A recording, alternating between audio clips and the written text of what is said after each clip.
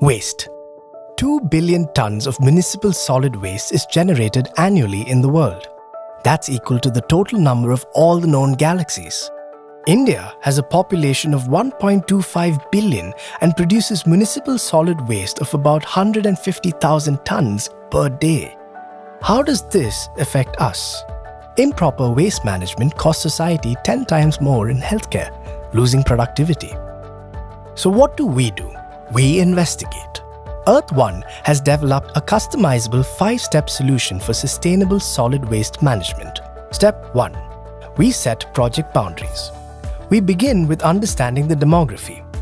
Then, we evaluate and map the waste generation sources and classify the area. For example, into high density regions, medium density regions, and low density regions. Step 2 We follow a statistical method. We create Geographical Information System or GIS maps to understand the dynamics of the area. Then, we determine a sample size for the waste to ensure a statistically accurate representation. After this, we prepare a waste characterization manual.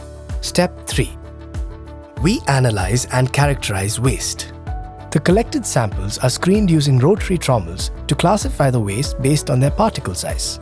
The screened waste is then manually sorted into 27 categories to determine the detailed physical composition. A chemical analysis will reveal the elemental composition of the waste. Stability and elution tests will help in determining the greenhouse gas potential and leachate properties of the waste. The waste characterization study leaves us with a lot of data. So what next? Step 4. We analyze the data. Our dynamic software tool helps in designing an efficient collection system for the area.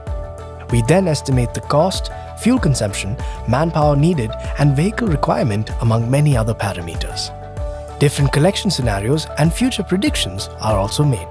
Step 5. We design a treatment plant. Appropriate solutions such as composting, anaerobic digestion, mechanical biological treatment, and thermal treatment are evaluated. Detailed mass balance diagrams help in determining the cost, electricity, water, and other infrastructure requirements for the treatment plant. The plant is then designed. A waste characterization study ensures a long-lasting solution for solid waste management and ensures functionality of treatment plants for a long period of time. A safer Earth is a better future.